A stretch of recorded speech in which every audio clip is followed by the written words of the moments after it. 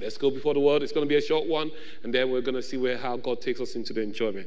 Father, Lord, we give you praise. Father, Lord, we bless you. We are here, oh Father God, to receive spiritual food that will enable us, oh Father God, to do that which you have called us to be, which is to be vessels of honor. That's all we want to be, Lord. And a vessel of honor is not unto itself, it's unto you, Lord, for your service. So, Lord, minister to each and every one of us. Bless us, strengthen us, speak to us, Lord. Change us on the inside, gain us for yourself. Father, we give you all the praise. In Jesus' name we pray. And the people say, as you can see, we are anointed to pray. Somebody say, I am anointed to pray. I don't know if you can. Oh, you can see because I don't. If you see the man there, and I, I, don't know why. Okay, there's a there's some sisters here. You can see that praying as well. You can see the anointing. That's the oil coming upon them, and you can see that it's always related to the word of God. Praise the Lord. I think this this series, if you can, if we can all internalize it, it will change our paradigm. Amen. One of the things that's fast become apparent is the fact that there, are, there is a lot of bad theology. What did I say? There's a lot of bad theology. And bad theology creates fear and doubt in the hearts of the people. Do you understand what I'm talking about? And so, if you have a misunderstanding of the Word of God, of God, and what His precepts are and His insights are, then there's likely to be a lot of doubt and fear. And so, there are people, and I know people, even men of God who have served, that as they began to look at their lives, they begin to even doubt their own salvations because of the bad theology. And I pray that God is going to give us a theology concerning prayer that will be uplifting, amen, that will be genuine, amen, that will release us into what God has called us into, amen.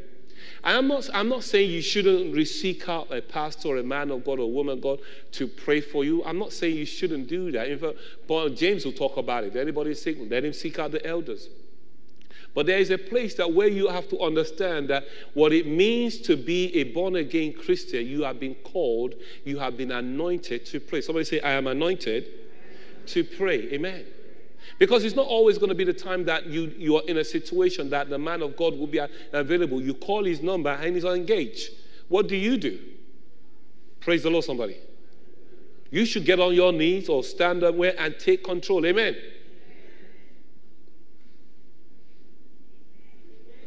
Okay. Because that word says, you are anointed to what? To pray. What is prayer? If you've ever been to any of our classes, one of the definitions that we give is that we will say that prayer is the communication with the Father through the Son by the power of the Holy Ghost. If you don't know that already, write that down. Very valid, and it's important to hold on to that. But one of the things I want to do is to bring you into an enjoyment of really the power behind that statement. Prayer is communication with the Father through the Son by the power of the Holy Spirit. In fact, when you look at um, the website for Billy Graham's Evangelistic Association, they say prayer is spiritual communication, that word again, between man and God, a two way relationship in which man should not only talk to God, but also listen to God. Praise the Lord. And so, listen, it's not about us just quickly getting our two pence in there. Lord, I woke up in the morning before I feel bad about not praying, so I quickly do a quick five minutes. In fact, you can even make it 30 minutes and or maybe an hour, but after that, you just dash up. No, no, no, no, no, no, no. It's communication, right? Is it possible that after you have downloaded onto God, God too wants to download? Prayer, you are anointed to pray. You do know that the unbelieving person who has refused to receive Jesus Christ as Lord and Savior, even if they think they are praying, but because they have not believed into Christ, there's no way they're going to get a download from heaven. Praise the Lord. Somebody say, I am anointed to pray.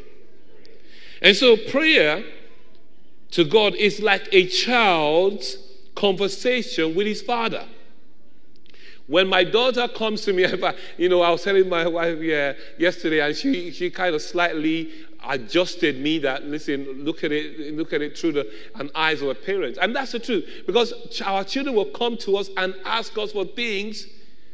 They don't know how you get it. They don't know if you don't have it. They just want it. Amen. And that's how it's a relationship. And so there's an expectation so it's not that you say give me give me give me, give me and she's now walking away. No she's waiting. What's the answer? Show me the money. And so, really, what we're saying about, we're talking about is that whenever you're communicating to God, don't misunderstand what I've just said now, because it's not about all altruistic or what we want about ourselves, but it's about communicating because God wants to download His will to us. Amen. In fact, things like scriptures like Luke chapter 11, verse 13 come to mind. He says, If you then, being evil, know how to give good gifts to your children, how much more your heavenly what? Father. Note that heavenly Father, not heavenly God, even though he is God, but he is heavenly Father. There's an endearment. Amen. Give you the Holy Spirit to those who ask. And the truth about it is this is it possible that when we're asking God for things, He is actually answering us?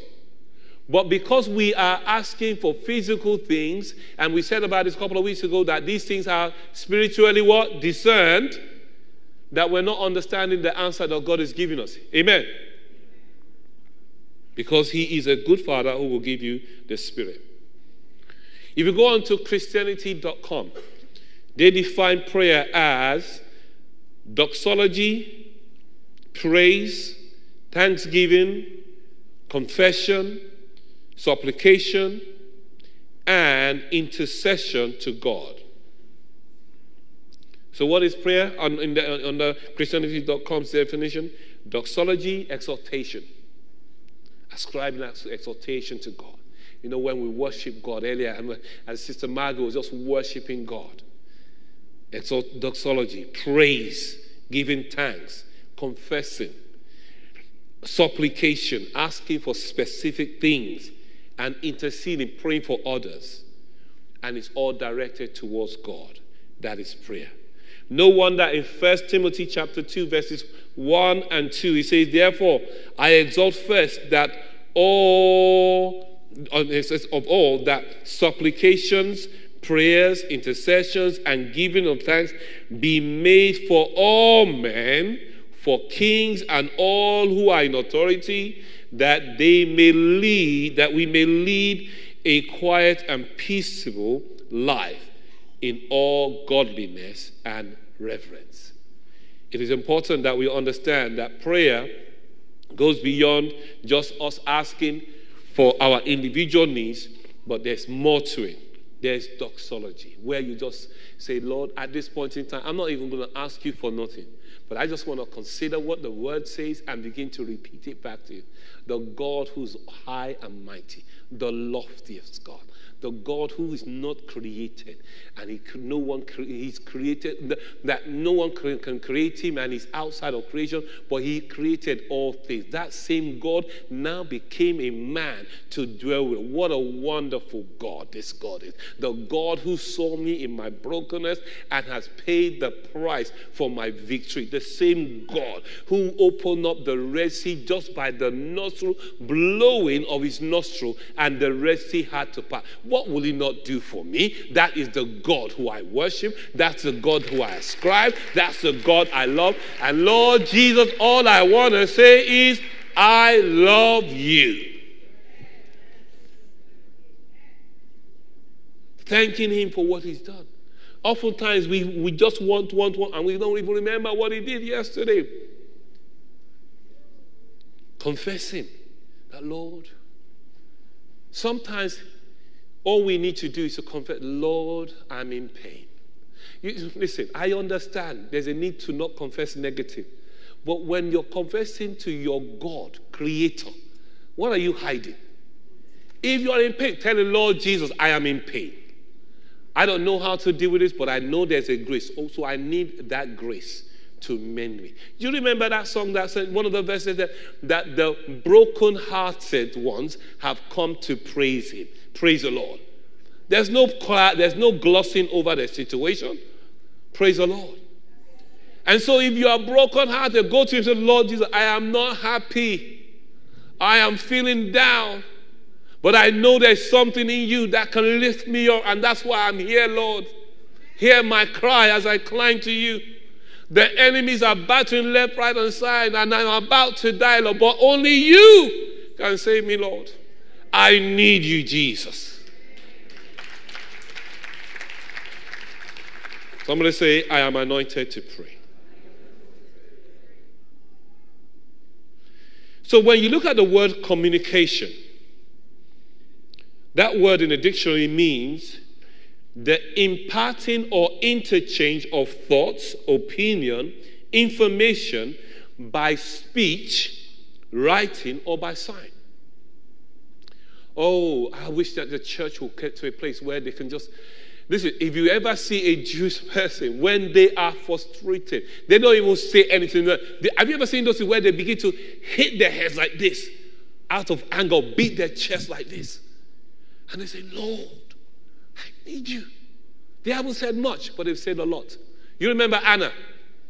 Anna, when she was under the oppression in our own home, uh, somebody ministered to me that to me last Sunday. That Anna was in her own home, but the own that house was an oppressive house because of everything that was going out there. Ah, she was in pain. She went to the temple. She could not form the words. Where would she start? Is it the day one or day two or the one that just happened before she left? But she just began to open her mouth. And the priest said, Are you drunk? Ah, if only you knew what is here. Somebody, your prayer, God hears your prayer. Because you are anointed to pray. You are what?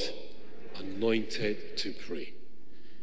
Second Chronicles chapter 7, 14 will say, if my people who are called by my name, listen, what it means to be a born again Christian is that you bear the, the name of Christ. Amen. And so the Bible says, if you call upon God because you bear his name, he said, if you will humble yourself, change your position, change your posture, and pray. Why is it that we just can't just pray? Pride is one of those things that stops us from praying. And why, I mean, how does the enemy get to a place where he puts pride in us that we say, No, I won't pray to God? Not that we will ever say we won't pray to God, but something on the inside of us feels that praying to God is the last thing we should do. That is pride. Can we talk today? The Bible says, if my people who are called by my name will humble themselves and pray and seek my face, that means you're not just saying, okay, God, well, if you're going to do it, do it. No, no, no. God, I need you to do it. I am here, Lord. I, I don't even have time for food. Food is not what we're talking about now. I need you, Lord. Listen, can I talk to you about fasting and praying very quickly because we'll talk about next week. Fasting is less about you starving yourself. It's a more of a fact that at that point in time, food is not the priority. Who knows what I'm talking about? I just want to behold the face of my God. Food. I will get food later, but now it's me and God. Speak to me, Lord. Move on my behalf, Lord. Show me what I'm missing concerning this thing. That is the essence of fasting. Praise the Lord, somebody. He said, and turn from their wicked ways God said, I will hear from heaven. For you go to heaven it is because you bear his name and there's an open heaven over you. And I will forgive their sins and heal their land. Listen, you know, you know you need healing. Pray to God. God said, Now my eyes will be open and my ears attentive to prayer made in this place. That's the word of the Lord to us. Somebody say, I am anointed to pray. You see, in that scripture, there is only one thing that qualified the people to get the attention of God's hearing and eyesight. What? Because they bear his name.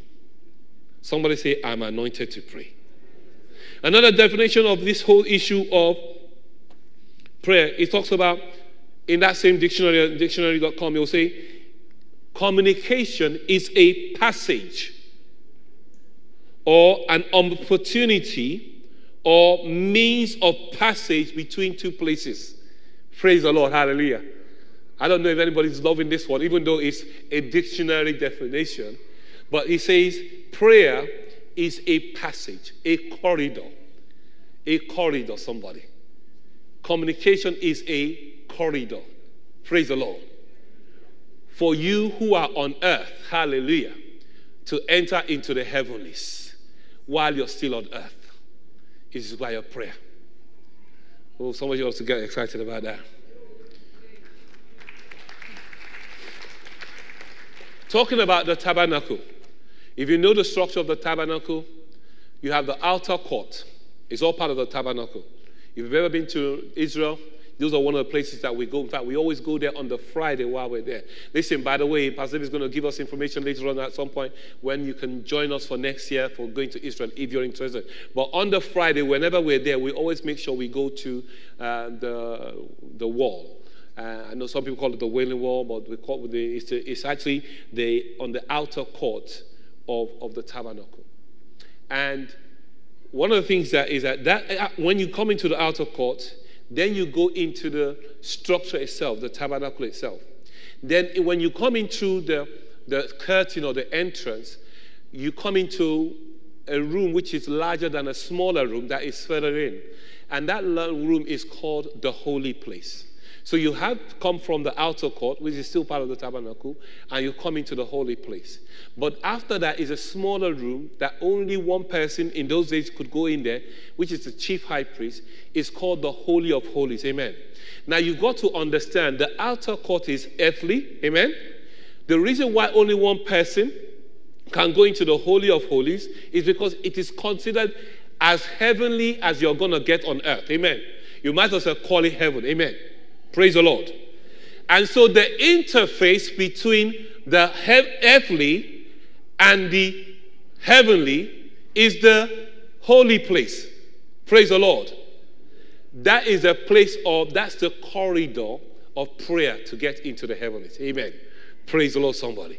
And so I need you to know because you are anointed, you have the ability to pray because that prayer is the corridor, the passage between the communication between the earthly and the heavenly. Praise the Lord, somebody.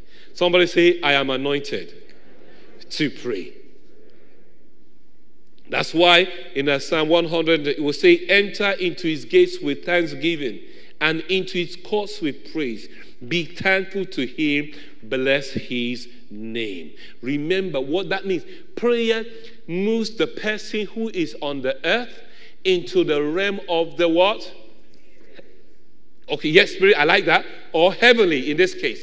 Earthly, heavenly. Natural, spiritual. Temporal, eternal. Hallelujah. But hey, prayer moves us from one place into the next place. Hallelujah. Put your hands together for the Lord. Now, this is the deal.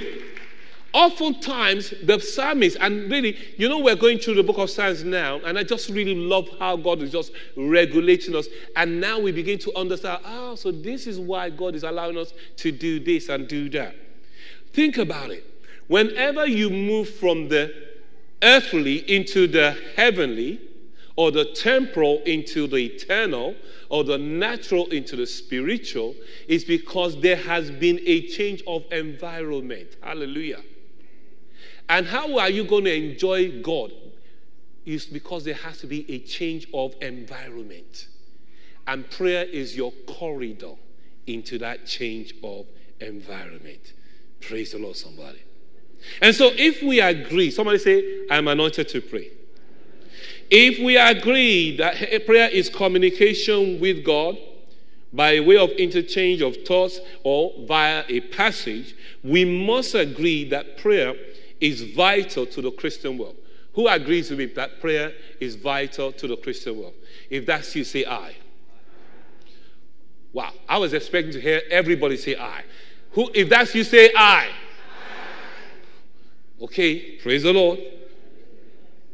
So if we go back to our foundation scripture, I'm gonna, I'm gonna, I'm trying to make something uh, bring us into the Genesis. So let's read the Ephesians chapter. We, we agreed that prayer is vital.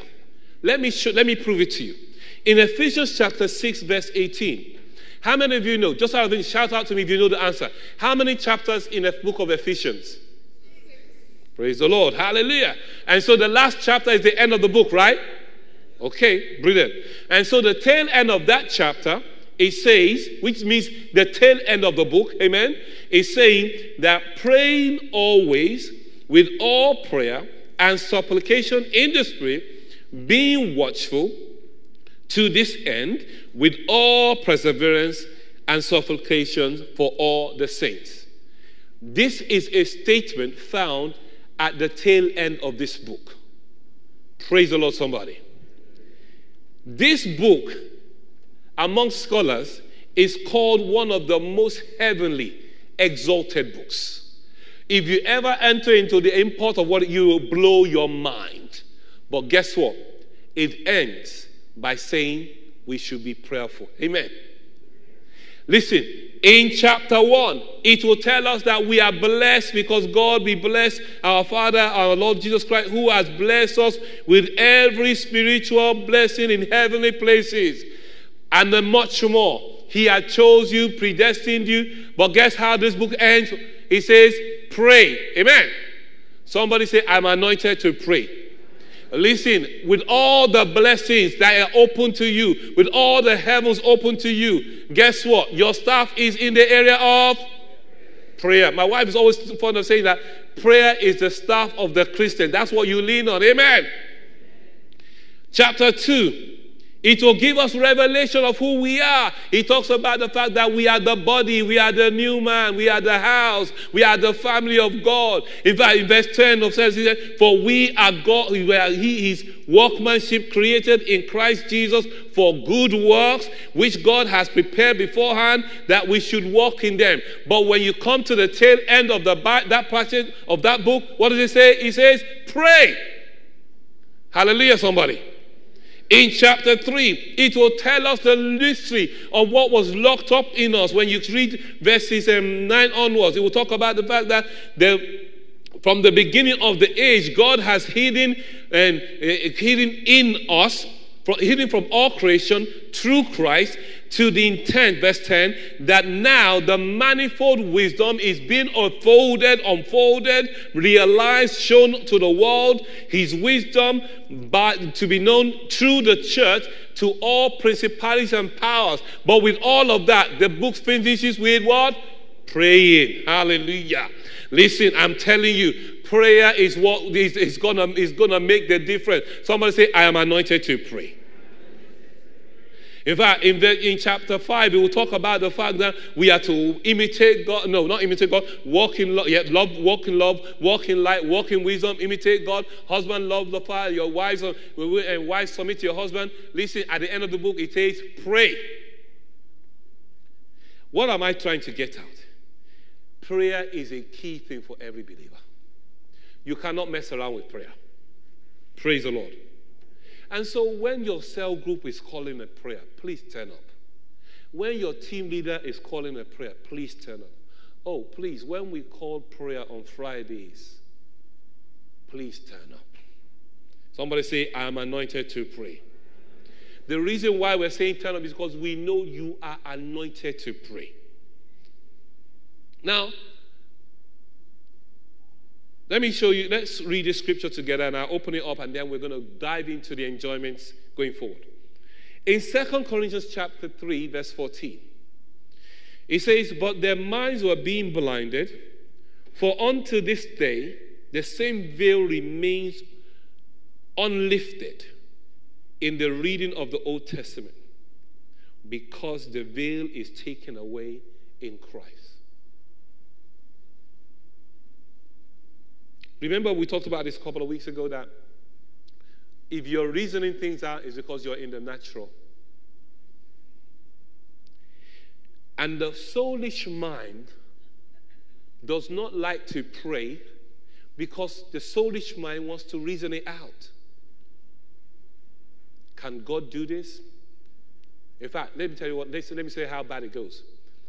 A soulish mind will look at themselves that color, you know you sinned, you told a lie. This could be the repercussion of the lie you told. That's so. That's your soulish.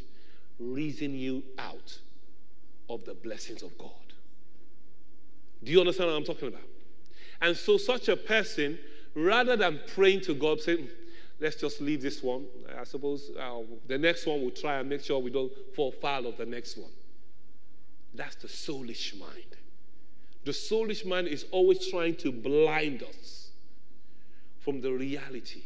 But when you get Christ, the veil is taken away and you are able to see that which is spiritual because it can only be spiritually what? Discerned. And so you know that this one we need to pray. This one we will pray. This one we must pray. Why? Because we are anointed to pray. You see, the blindness in the life of a soulish man is supernatural. They didn't blind themselves, the devil has blinded them. Even though they are born again Christians, but because they operate from the soulish side, not the spiritual side, there is a blind, there's a veil. However, enlightenment is the enjoyment of the spiritual mind. Amen. Because they have the light of Christ that has taken away the veil. Praise the Lord. And so, what it means to be born again is to be spiritual. You remember John 3 6? That which is born of the Spirit is. Have you noticed where it says born of the Spirit? Big S. Somebody say big S. Is Spirit, little s. Amen. Try figure out which one is you. Yeah, little s. And so who is? Yes. And so what that means is that we are not born of natural things, we are born of the Spirit. That's why we can say, Our Father. Praise the Lord. That's why I say you are anointed to what? Pray. That's what it means to the true born again can pray and have God answer. So let's go to this one and see how we can go through this one. Exodus. So now remember what I said spiritual discernment in the area of prayer. Exodus chapter 30, verse 22 to 25. It says, Moreover, the Lord spoke to Moses, saying, Also take for yourself quality spices. What spices? Quality spices that which you are anointed with is quality. Amen. It cannot be erased, it will not go off, cannot be corrupted, cannot decay. That's why I say you are anointed to pray. He says, Moreover, says the Lord spoke, moreover, the Lord spoke to Moses, saying, Also take for yourself quality spices, 500 shekels of liquid myrrh, half as much sweet smelling cinnamon, 250 shekels,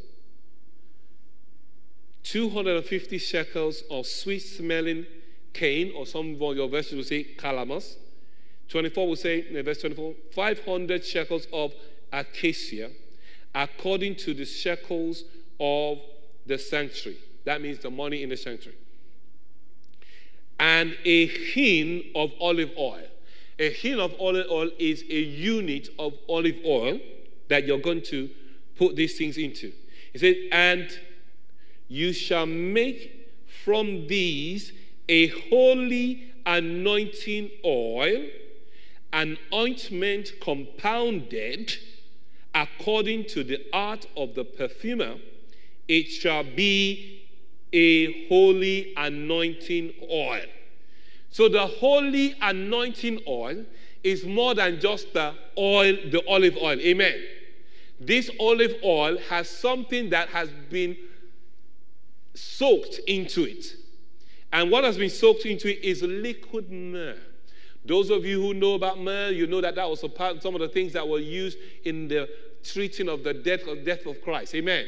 So myrrh in there talks about death of Christ. Hallelujah. The reason why we are anointed for everything that we do is because Christ Himself took the pain, died on the cross, and in His death, everything about us died too. Amen. Praise the Lord. Hallelujah. And so I need you to know the reason why I'm saying that you are anointed to pray is because there's something on the inside of you that has accomplished and conquered death. Hallelujah.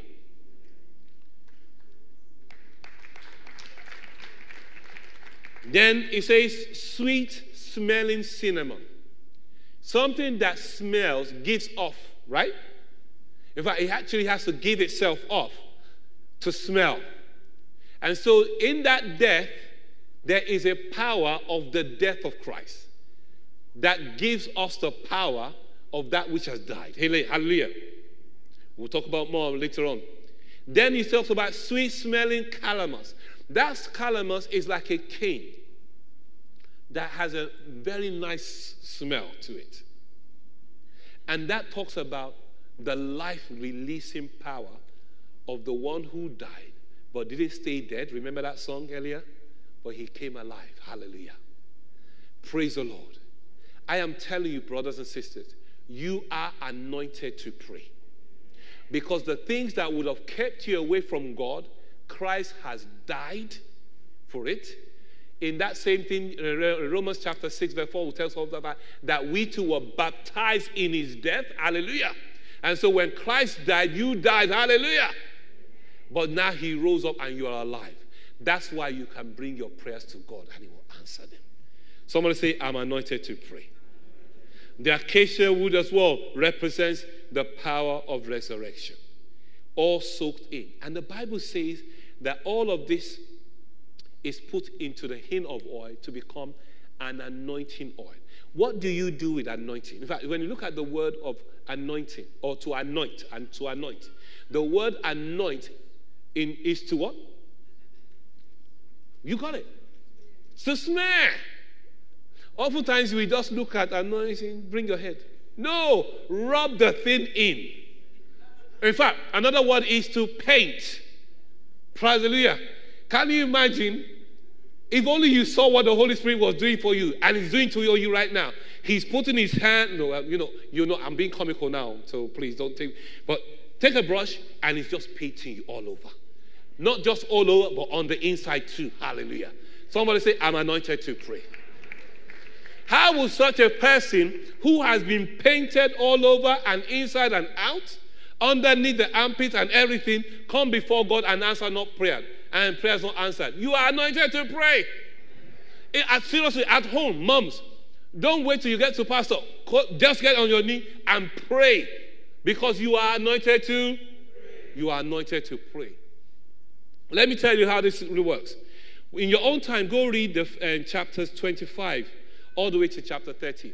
You will see all the utensils, ranging from the curtains, the table, the showbread, um, the candles, and everything that God said make they should make.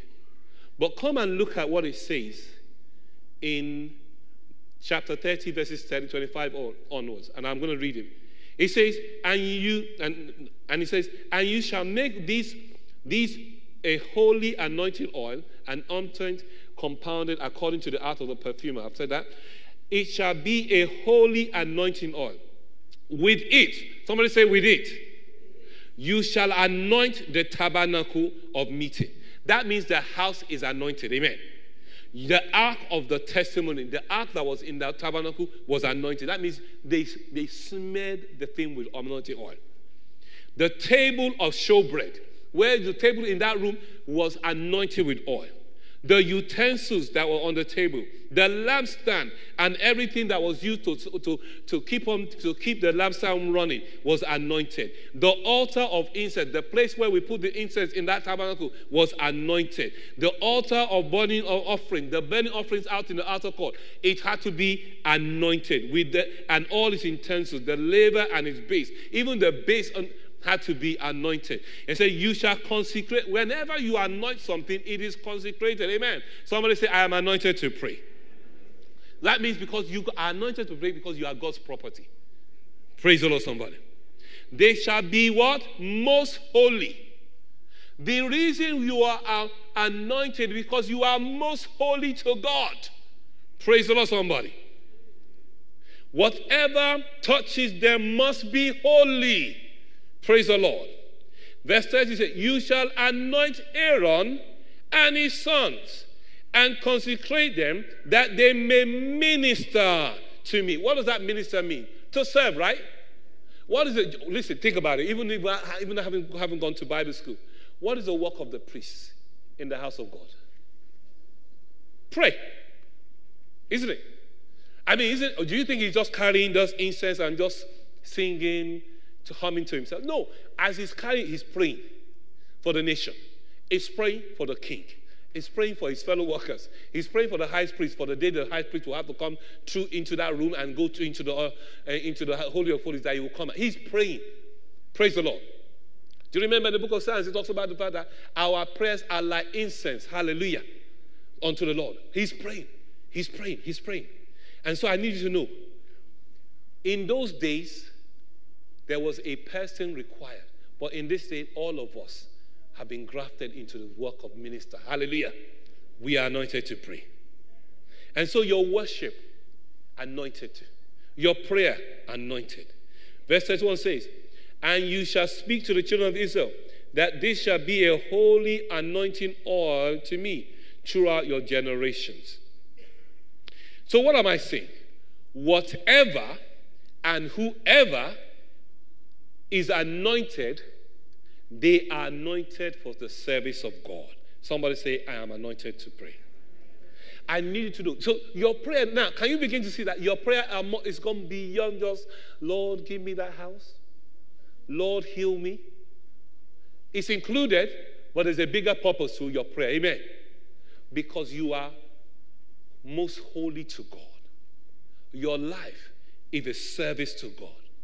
And so, as a minister, you are meant to pray to God so that you can be about His interests, desire, concern, and intentions. Somebody say, I am anointed to pray. In Exodus chapter 19, verse 6, it says, You shall be to me a kingdom of priests, a holy nation. These are the words you, you shall speak to the children of Israel. God says, New wine, you are a kingdom of priests. What do priests do? They pray.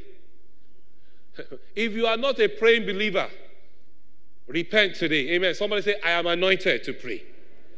Because you were anointed to pray. Praise the Lord, somebody. When you come to First Peter First Peter chapter 2, verse 9, which says, You are a chosen generation, somebody. Chosen. Why? So that you can pray, be a priest. A royal priesthood, he calls you. A holy nation separated unto God. Why? Because he has anointed. The anointing separates you from the world. Somebody say, I am anointed to pray. Yes, we were in darkness, but now we are in light. Hallelujah. And so it is important that you understand this. Do you remember the story that Jesus told about the persistent woman who prayed? In Luke chapter 18, before he gives that parable, he will say that men always ought to and yes, not lose heart or not to faint. Men always ought to pray. Let me tell you the parable, and I want you to enjoy this. Somebody say, I am anointed to pray. And it might be just where we're going to close. In the Old Testament, in, especially in the book of Deuteronomy, there was provisions for the less for the marginalized in society. And so you will hear about the fact that if you plant corn on the road or wheat, you have to glean and you should allow the edges to be gleaned or fall. So if you cut and something falls, don't pick it up, just leave it. God has purposed that for somebody who doesn't have to walk past and carry some so they can, at least even if all they get is half a cup, at least they will have something to eat. You're taking like bags and bags home, but let somebody take half a cup home to eat. That is God's provision. But also, there were other provisions that how you treat the widows, the fatherless, and the strangers. Not just in terms of food, but other things. So there are provisions in there. It is into that that Jesus is talking to when he talks about the persistent widow. Says, there's a certain, in a certain city, a judge who did not fear God nor regard man. Now there was a widow in that city where the judge does not fear God and does not regard man. And she came to him saying, Get justice for me from my adversary. She came praying, right? She came praying, right? And he said he would not for a while. But afterwards, he said to himself, Though I do not fear God, nor regard man, yet because this widow troubles me, I will avenge her, lest she continually coming, she weary me. Then Jesus said, Hear what the unjust judge said. And shall God not avenge his own elect who cry out just in the morning? Just in the nighttime? Just whenever?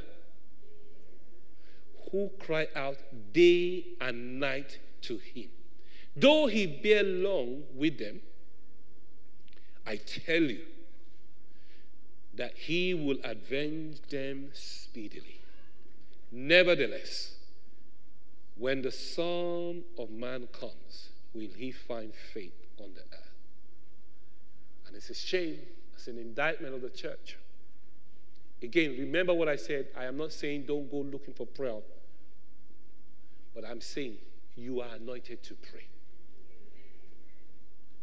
The day you realize that, number one, you deliver yourself from putting yourself or your family in any harm's way, but then you enter into the enjoyment of that which you will be anointed to do. Amen.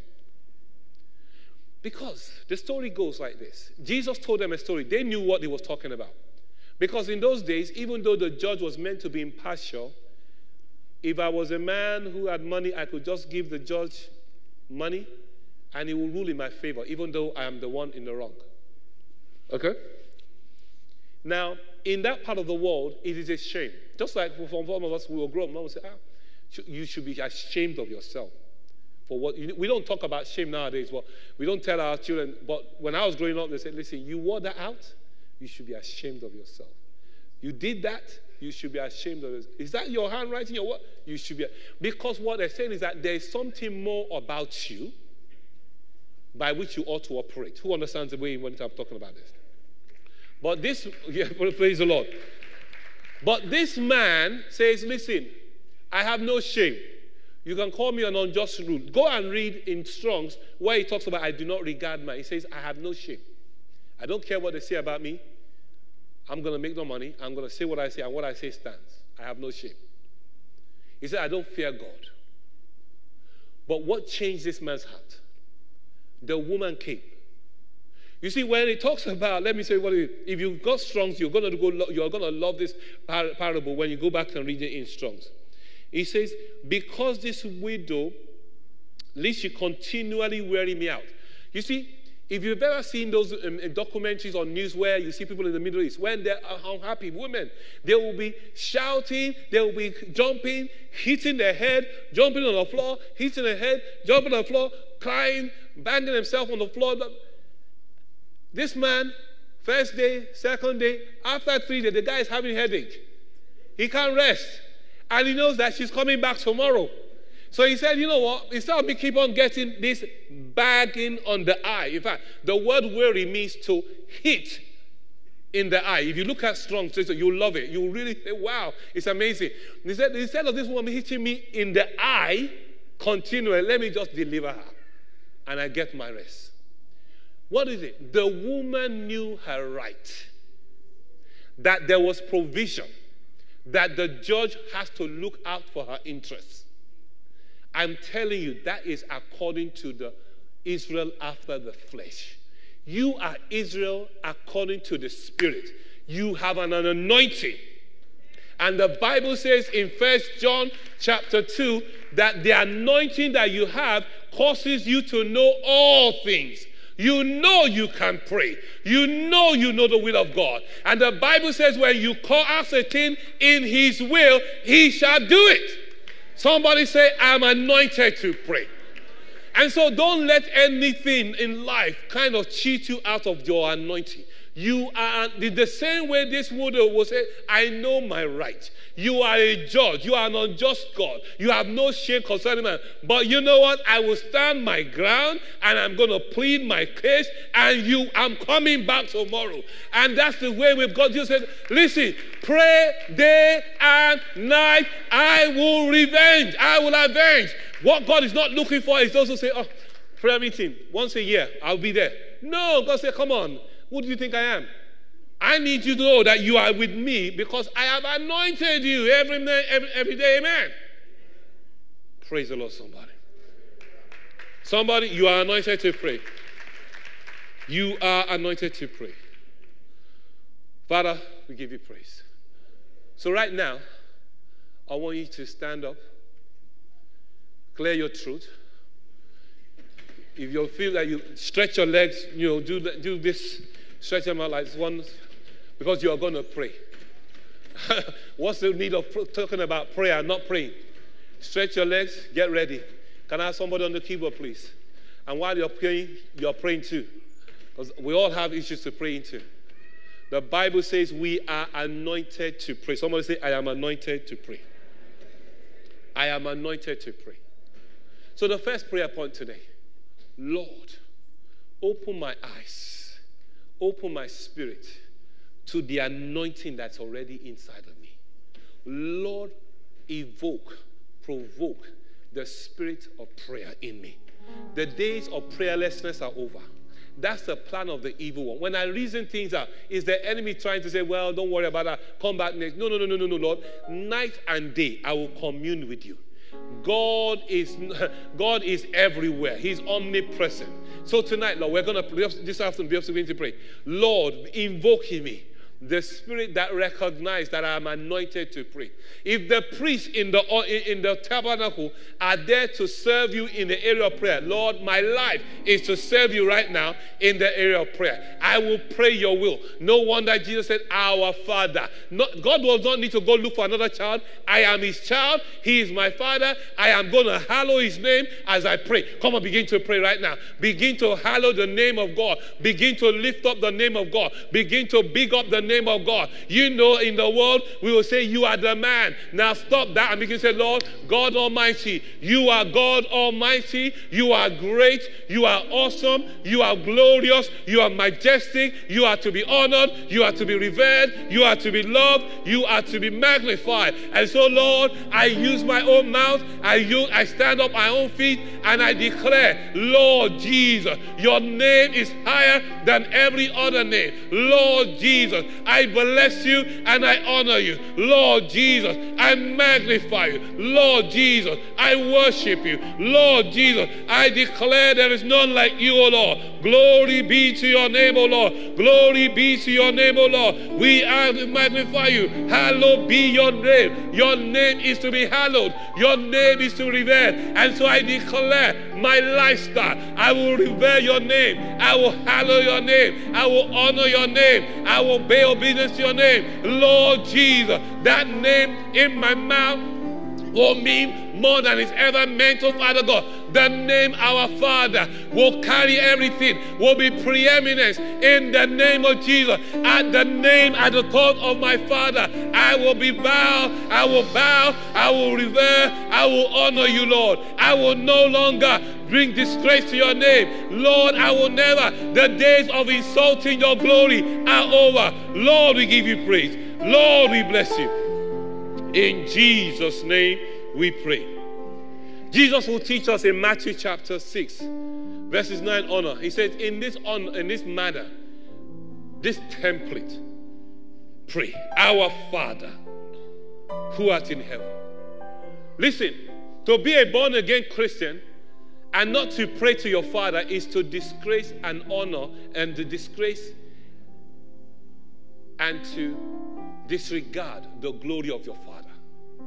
You know what that means? You wake up in the morning, you look at him, you walk away. In fact, some places it's bad, you don't even look at him, you just walk out. And he's meant to be your father. How many of us would like that? That your child wakes up in the morning, they saw you in the sitting room, they saw you in the corridor, and they just brushed past you. He, ah, come on. That's what it means to be a born again Christian and not to pray.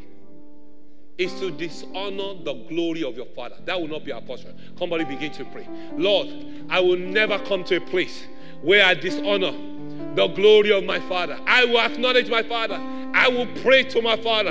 I will revere my Father. I will love on my Father. The Father who loves me. The Father who paid the price for me. The Father who drew me to Himself. Lord, I receive the grace of Father God to walk in the anointing to pray, in the anointing to seek you in the morning. Early in the morning, oh Father God, I will seek your face, oh God. Late at night, I will speak unto you, Lord, in the name of Jesus. Lord, tonight tonight, this morning, we declare the Lord, your name to be hallowed in the name of Jesus.